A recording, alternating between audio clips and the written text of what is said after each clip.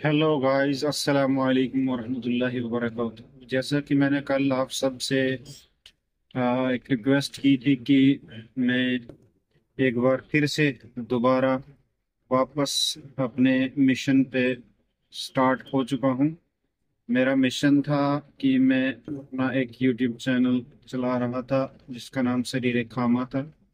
तो वो एक बार, जैसा कि मैंने कल भी वीडियो में आपसे कहा था कि वो मोनोटाइजेशन के उस क्राइटेरियाज तक पहुँच चुका था बट उसमें कुछ वजूहत रही थी कुछ गाइडलाइंस थी जो हमने मिस करी थी। उनको आ, क्या कहते हैं उस पर स्ट्राइक्स की वजह से वो मोनोटाइज नहीं हो पाया था। तो अब चूँकि वो सारी चीज़ें ख़त्म हो चुकी हैं अब नए से हम लेटेस्ट वीडियोस के साथ एक बार से फिर उसको स्टार्ट कर रहे हैं स्टार्टअप कर रहे हैं। तो इनशाला उम्मीद है कि आप सब हजरात, आप सब व्यूवर्स जो हम जो हमारा ये चैनल फॉलो करे हैं, वो सब के सब हमें क्या कहते हैं पुशअप करेंगे बैकअप करेंगे और हमारा, हमारी हेल्प करेंगे, हमारे इस चैनल को ग्रोथ करने में, आगे हमारा साथ देंगे। तो इनशाला हम अच्छे अच्छे कंटेंट के साथ, अच्छी वीडियोस के साथ, आपके साथ रूबरू होंगे। इस वक्त, मैं अपना ये ब्लॉग स्टार्ट कर रहा हूँ कि मैं, मेरा, मुझे कल एक प्रॉब्लम हो गई परसों। मेरा जो पीसी था, वो थोड़ा सा क्या कहते हैं हैंग आउट हो गया, थोड़ा सा गर्म हो गया और जिसकी वजह से वो ख़राब हो गया।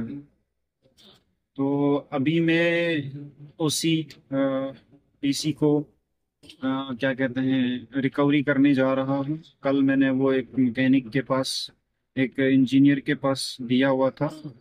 तो अभी उसकी कॉल आई कि आप आइए और अपना पीसी जो है वो आपका हमने ठीक कर दिया है उसको ले जाइए। तो फ़िलहाल मैं वही पीसी अपना लेने जा रहा हूँ। तो इनशाला उम्मीद है वो पीसी जो है, बिल्कुल अच्छा हो गया होगा, सही बन गया होगा।